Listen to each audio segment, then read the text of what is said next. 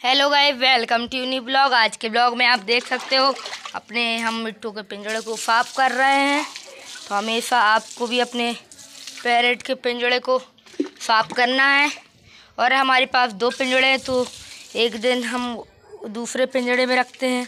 एक दिन दूसरे आज हमने अभी पैरेट को नहलाया है और थोड़ा धूप में रख के उसको अच्छे से पहुँच के वो कर दिए हाँ, अपने मिट्टू को धीरे धीरे पानी डाल के हम नहलाते हैं। और अभी ये पिंजड़े को नहला, धुल के इसको धूप में रख दें। इसके बाद अपने मिट्टू को देख लेते हैं। हमारा मिट्टू गाइस बहुत खुश है आज। देख सकते हो गाइस, मिट्टू। देखो गाइस, मिट्टू ने अपनी आवाज़ भी निकाल दी। मिट्टू आज खाया है। मिट्टू आज आलू अंडे खाया है, बड़े खाया है। और मिट्टू के पास पानी। गाइस हमेशा अब ये गर्मी में आप ध्यान रखना कि ये आज कल से नौता पाइप स्टाप स्टार्ट हो गया है। तो आप अपने मिट्टू को ज़्यादा से ज़्यादा कूलर या पंखा की हवा में ही रखना।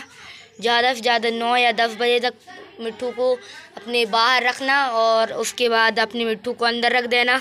नहीं तो आपका मिट्टू को सर्दी भी लग सकती है या बुखार टाइप का भी हो सकता है। तो मिट्टू को गर्मी में तो डेली नहलाएँ, पर गर्मी में डेली नहलाएँ और ठंडा मौसम रहा तो ना नहलाएँ नहीं तो आपके मिट्टू को बुखार टाइप भी लग सकता है, क्योंकि अभी का मौसम अलग ही है, बदलता मौसम है। और इसको रात को छो, आपके पास दो पिंजड़े तो रात को छोटे पिंजड़े में और सुबह बड़े पिंजड़े में रखें, जिससे आपका मिट्टू कंफर्टेबल रहेगा।